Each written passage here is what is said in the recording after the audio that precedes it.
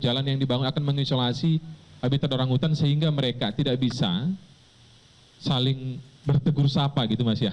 Kalau bahasa gaulnya tidak bisa saling bersilang begitu dan akhirnya mereka akan menikah satu darah dan itu akan mempercepat kepunahan.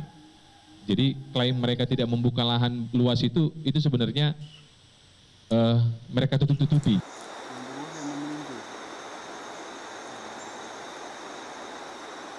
Kapasitas 500 megawatt menjadi